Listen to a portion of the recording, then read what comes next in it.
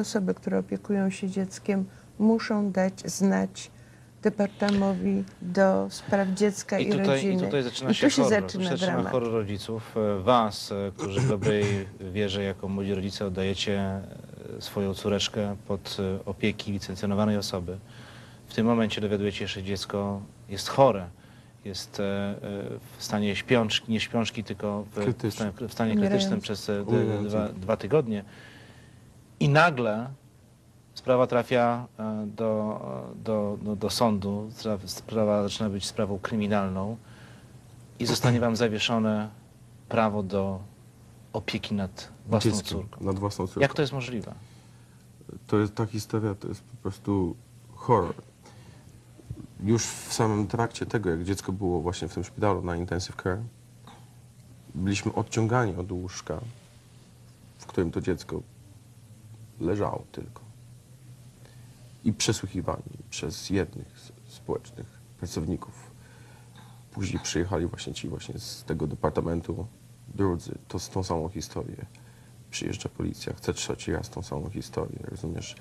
A tutaj matka płacze, nie wiemy, zmieniamy się. To jest, to jest tylko Ja wiem, tamta. że dzisiaj rozpoczęliście tamta e, spotkanie chwilę przed, e, e, przed naszą rozmową tutaj, że powiedziałeś, że musimy jeszcze raz tą historię opowiedzieć. To są chyba już setki razy, kiedy opowiadacie w szczegółach e, przed e, osobami w mundurze, przed osobami, przed urzędnikami. E, Czujecie się jak osoby, które, e, no, no, no, które są prawie mówiąc, zaszczute nawet przez, przez cały ten... Oskarża się o zbrodnię, której Państwo nie popełniliście. Tak, i- Tak, zabrali nam nasze jedyne dziecko. Dziecko, które było całym naszym światem. Dziecko, które było przez nas wyczekane. W tej chwili to dziecko jest u zupełnie obcych ludzi. Dziecko, które No nigdy właśnie, my wcześniej zacznijmy, nie że było w wśród w obcych momencie, osób. kiedy wasze prawa zostały e, e, zawieszone, wyznaczono, e, wyznaczono rodzinę zastępczą, była to wasza mama. Była to nasza mama, którą Tak. ściągnęliśmy z Polski. Oni nakazali nam, czy zaproponowali, że możemy zgłosić jakby kandydaturę któregokolwiek członka rodziny. Z racji tego, że jesteśmy tutaj generalnie sami. Wiem, że mama Ani momentalnie przyjechała, zostawiając pracę z Tak, Polski. zostawiła pracę. W, pracuje w e, Akademii Muzycznej. w Łodzi. i- w Łodzi e, 28 lat. A ma wspaniałą opinię. Jest wspania- bardzo dobrym pracownikiem. Moja mama rzuciła pracę. I. A kiedy we wtorek okazało się, że musi tutaj przyjechać, moja mama w czwartek już tutaj była.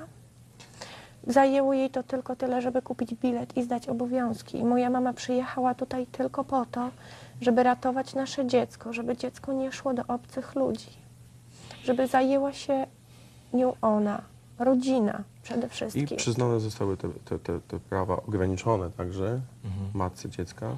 Nam ta instytucja kazała wyprowadzić się z domu. E, Do domu wprowadziła się babcia. Z, ze szpitala dziecko zostało wypisane. Teoretycznie jej opiekunem, nie praktycznie, przepraszam, jej opiekunem w tej chwili i od tamtego już momentu jest państwo, czyli Stany Zjednoczone Ameryki, a instytucją, która się zajmuje, jest właśnie to DCFS w połączeniu z drugą instytucją, Lutheran Service. I teraz oni przyznali te prawa bab, babci, a my mogliśmy wizytować jedynie, mimo tego, że obciążyli nas wszystkimi kosztami, bo musieliśmy płacić za swoje mieszkanie, Za wynajęte mieszkanie. za wynajęte mieszkanie, za mieszkanie, w którym jest Już babcia. nie mówiąc o innych wszystkich innych rzeczach. wszystkich. Wiktoria e, m, miała kolejne problemy ze zdrowiem. Już nie ma czasu, żeby o tym wszystkim Tak. mówić. Prawdopodobnie w tym momencie, kiedy oglądają Państwo ten program, trafia do rodziny, ale nie do Waszej mamy, trafia do rodziny zastępczej. Do obcych ludzi.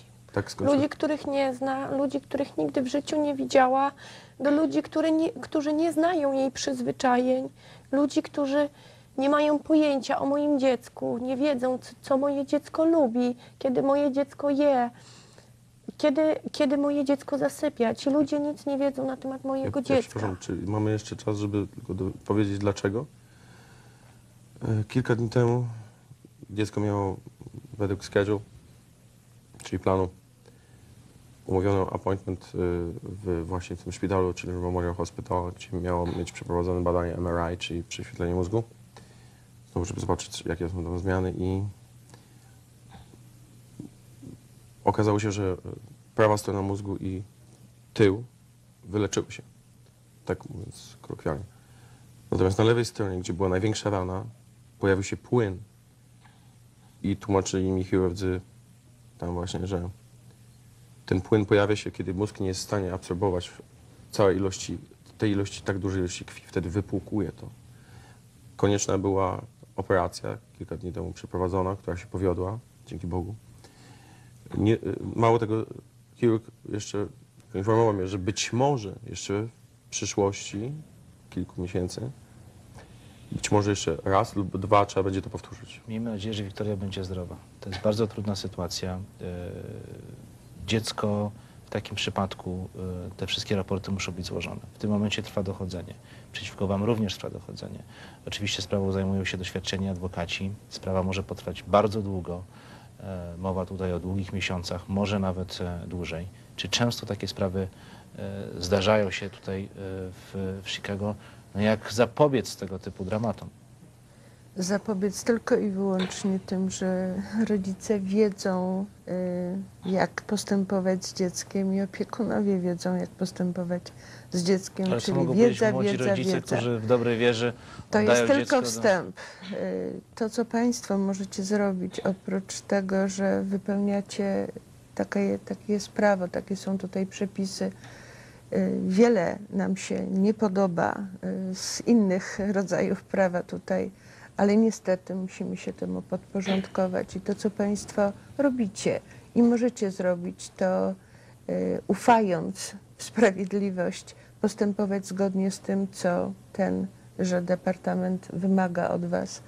A też chciałabym tak powiedzieć, szczerze mówiąc, powiem Państwu, jakby chcę Państwa uspokoić, że te tak zwane rodziny zastępcze, mimo że Pani mówi, że nie znają Pani córeczki, że nie wiedzą, y, co lubi, jak się rozwija, co do tej pory się działo, proszę mi wierzyć, że za, zajmują się tym bardzo dobrze. Są to ludzie, którzy przechodzą specjalne szkolenia i jestem pewna, że jej dobrze jest. Oczywiście, że tęskni za Wami, ale rozumiem, że dalej Państwo macie spotkania z własnym dzieckiem. Raz Ale zostały one ograniczone z spotkań każdego dnia od godziny 6 rano do północy do jednej godziny w tygodniu. Jedna godzina w tygodniu to nic, puste łóżko w domu, dziecka, którego nie będziecie mogli zobaczyć i tylko słowa otuchy, że ten koszmar kiedyś się skończy i to zaufanie, że, że ten system, chociaż tak brutalnie wygląda w waszym przypadku, y, jednak y, pokaże sprawiedliwość i zakończy się dobrze. Bo wiecie Państwo, często jest tak i ja rozumiem Państwa dramat bardzo Wam współczuję, ale rzeczywiście zdarza się i niestety zdarza się, nie chcę powiedzieć często, że no, znajdujemy dzieci, pracownicy właśnie tego nieszczęsnego departamentu, dzieci zabite, dzieci chore i sprawcami są najbliżsi. I często jest tak, że dyskutujemy sobie to prawo, że tu się wylewa dziecko z kąpielą, czyli niewinnych zupełnie ludzi podejrzewa się, prowadzi się śledztwo bardzo długo. I to jest prawda, ale to wszystko jest po to, żeby zapobiec następnemu nieszczęściu. Pani, ja nie wiem, jak my byśmy przeżyli jako rodzice sytuację, kiedy ona by była troszeczkę starsza i ze szpitala krzyczałaby, mamo, tato, dlaczego ty idziesz? Nie, nie, chcę, nie chcę nawet sobie wyobrazić. Mamy nadzieję, że te Mam pierwsze, nadzieję- pierwsze słowa, które wypowie Wiktoria, to będzie mamą, to będzie tato i to będzie już e, razem z wami. I obiecajmy sobie, że spotkamy się wtedy tutaj razem z naszą małą bohaterką i wtedy będziemy mogli triumfować e, zwycięstwo wasze, sprawiedliwości, a jeżeli będzie inaczej, mamy nadzieję, że nie, to na pewno do tej sprawy powracać będziemy. Ania i Maciek, dziękuję wam bardzo. Otuchy raz jeszcze. Ja chciałabym jeszcze coś powiedzieć. Ludzie, nie trzęście dziećmi, to nic nie da, to nie uspokaja dzieci. To jeszcze bardziej doprowadza je do płaczu. To nie jest sposób na uspokojenie dziecka. Lepiej zostawić to dziecko nawet w łóżeczku i po prostu wyjść. Ono się samo uspokoi. Ale trzęsienie dzieckiem to nie jest rozwiązanie, aby dziecko się uspokoiło. Maryla Jaworska, psycholog. Jeszcze raz dziękuję, jeszcze raz powodzenia. Dziękujemy. Dziękuję.